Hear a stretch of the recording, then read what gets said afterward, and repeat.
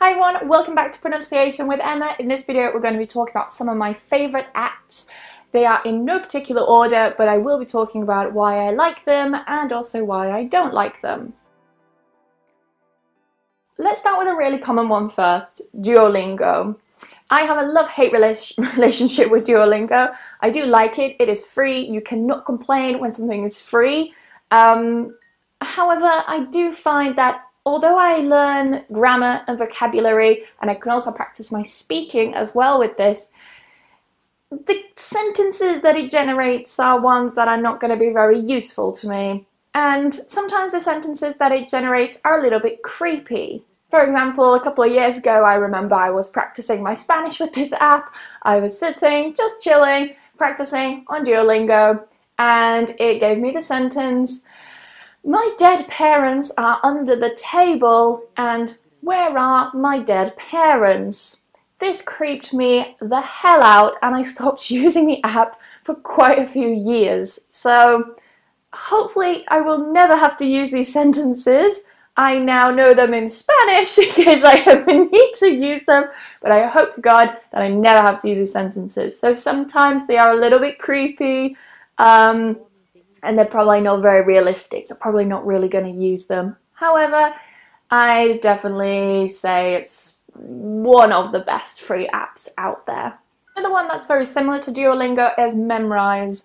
Um, I quite like Memrise. I find that the sentences are a lot more realistic. It teaches you not just vocabulary and grammar, but it goes through proper phrases that you will actually say, which makes this a little bit better than Duolingo. I must say that it does get a little bit repetitive and a little bit boring sometimes, so it's not the most fun app to learn new vocabulary and grammar from, but it's free. You can't complain. So I like it. I use it from time to time as well.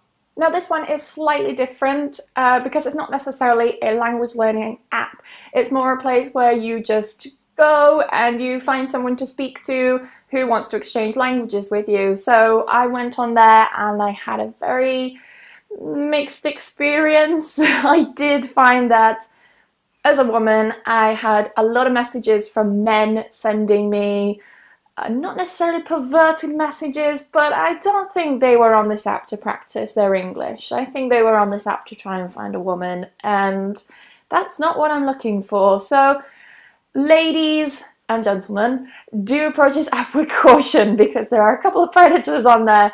However, I did strike lucky and I did find someone to sit and practice my Spanish with. Unfortunately, we didn't keep in contact, but it was great just to sit and find someone who I could practice my English with. No, didn't want to practice my English, my Spanish. they practice their English, I practice my Spanish. Now this one is probably my favourite flashcard app. It's Tiny Cards. It's really cute. I really, really like this one. Again, it's completely free. Um, I think as well it's made by the same guys who did Duolingo, so it has that similar kind of style to it, but it's really good. I like this one. I think as well you can also create your own flashcards. So imagine you're reading a book or watching a TV series and you want a way to practice the vocabulary that you're learning. You can download tiny cards. Again, it's completely free download that, put those words in there and practice. Last but not least, my favorite one, Drops. This app is beautifully designed. I really, really like this one.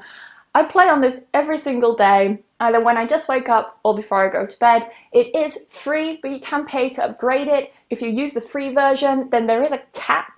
So you have a certain time limit before you can use the app again, basically. But if you pay to upgrade it, then you can remove that cap and you can play on it as much as you like.